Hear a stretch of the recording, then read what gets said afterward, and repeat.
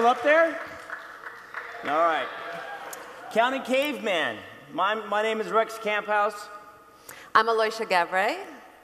I believe that caveman invented the circus. I truly do. I think it's the first art. I think it's pre-language. I think it's pre-everything. I think the first time a caveman jumped off a rock, and did a back tuck for his family, and made them laugh, circus was born. How about this?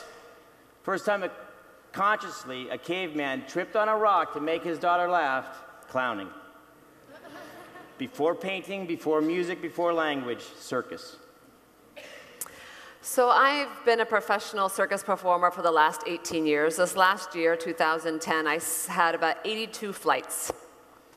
And during that lot of flight travel, I get asked the question, and what do you do? And I say, well, I'm a circus artist. And then there's the look of like a superhero, and yeah, how do I describe the lifestyle? How do you balance work and home and family? Yes, I am a circus artist.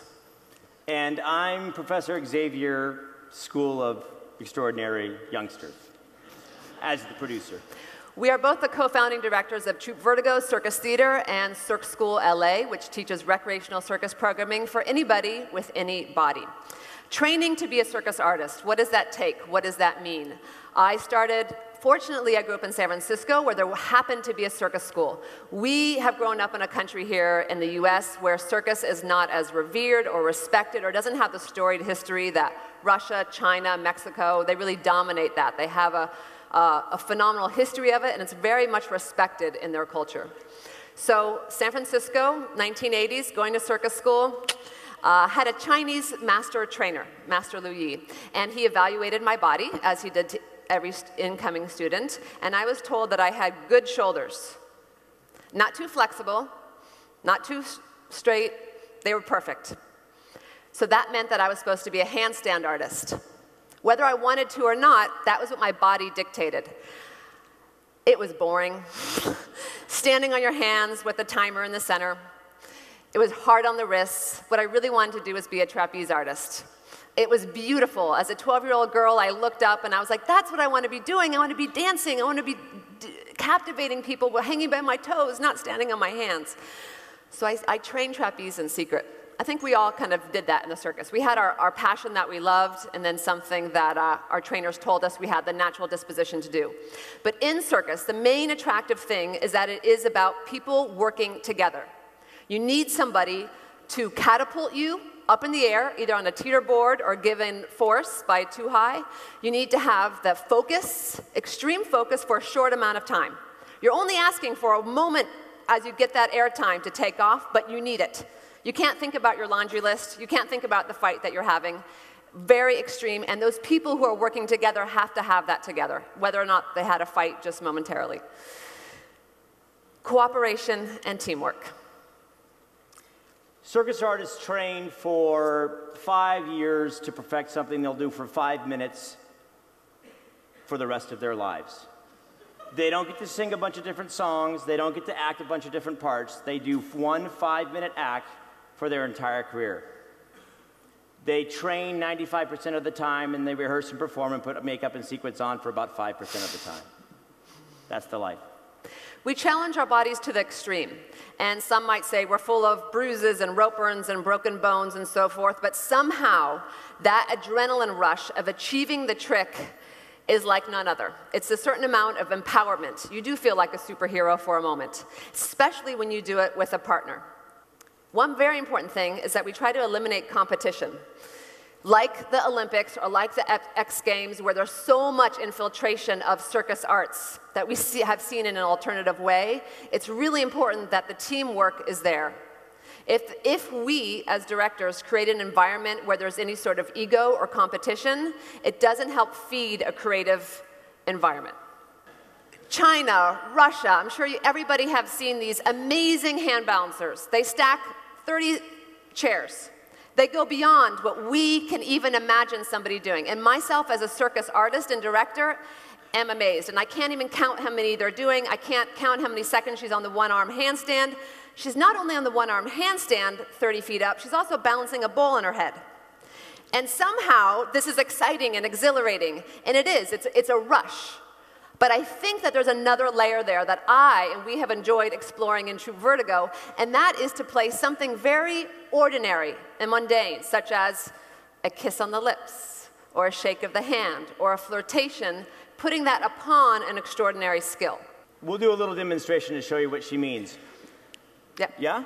You ready to get ready? Mm-hmm. One of the things that Troupe Vertigo and Aloysia and I have been doing is exploring how to break the boundary between the audience and the performer. And one of the things that we look to to see how that's done successfully is in rock and roll. They're always constantly trying to connect with the audience and break that theatrical boundary that exists here, this little black ray of light between us and you guys. So we're going to show you a little bit about what we're talking about, but both what Aloysia is talking about as a performer and a choreography, and what we're talking about is energy in the theater. You guys ready for a little demonstration? We've been lucky enough to be collaborating with the local LA band Nightmare and the Cat, and we happen to have brought them with us. Let's have them out. We also brought Aloysia's longtime acrobatic partner, Sagiv. We also gave you kazoos. Grab them. When you see Sam Stewart play his kazoo, join him. Sam Stewart on guitar, Django Stewart on vocals, Claire Acey over there on vocals and multi-instrumentalists. Nightmare and the Cat's also made up of Spike on drums and Julie Mitchell on bass. Ladies and gentlemen, Troupe Vertigo and Nightmare and the Cat.